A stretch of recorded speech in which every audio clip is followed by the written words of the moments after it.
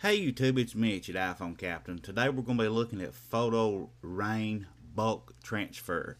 Now when you look this up, be sure you add that bulk transfer because there's two or three applications in the App Store with the name Photo Rain. Now what Photo Rain does, it allows you to transfer up to 450 photos at one time within only a couple minutes.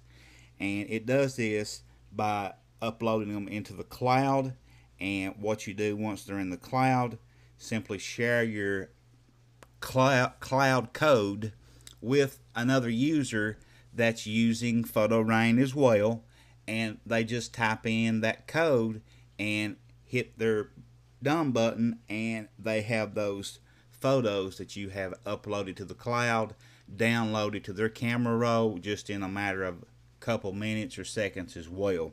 It's really an awesome way to share photos with loved ones that are way off away at a greater distance and you want to share you know more than just two or three photos. You want to share many tens of hundreds maybe.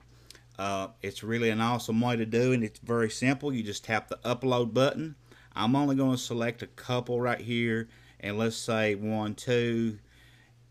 We'll, we'll add we'll, we'll say uh, three. And we're going to hit evaporate and you'll see just in a couple seconds here those will be up into the cloud. It'll give me a new cloud number.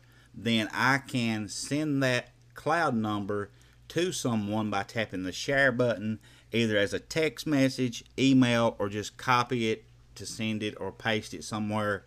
And really that's all there are to it guys. It's that simple. It's 99 cents in the app store. I think it does an awesome job at what it does. If you want to share a multitude of photos, really this is the way to do it. It's much simpler than using something like Dropbox or BoxNet or something like that. Uh, I will definitely have this in my arsenal from this day forward. Hit that subscribe button, guys, keep coming back.